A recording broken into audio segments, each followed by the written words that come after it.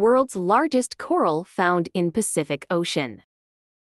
The megacoral, which is a collection of many connected, tiny creatures that together form one organism rather than a reef could be more than 300 years old. Scientists on the expedition measured the coral using a type of tape measure underwater. It is 34 meters wide, 32 meters long, and 5.5 meters high. It is bigger than a blue whale. This specimen was found in deeper waters than some coral reefs, which may have protected it from higher temperatures at the sea surface. The discovery was announced at the same time as the UNClimate Talks COP29 in Baku, Azerbaijan that are trying to make progress in tackling climate change.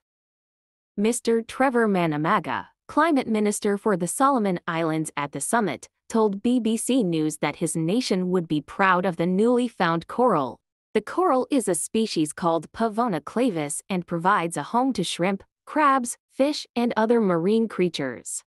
A report this week found that 44% of corals living in warm waters are threatened with extinction. Hit like, share, and subscribe if you learned something. Science Delight.